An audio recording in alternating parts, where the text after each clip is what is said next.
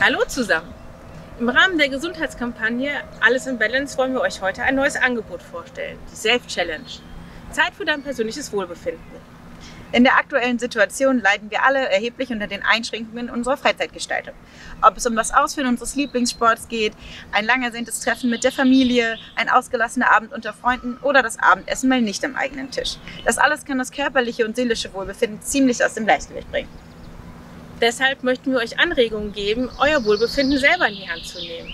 Auf der Homepage Alles in Balance stellen wir euch in den nächsten sechs Wochen jeden Mittwoch Aufgaben und Herausforderungen zur Verfügung, die ihr in euren Alltag integrieren könnt.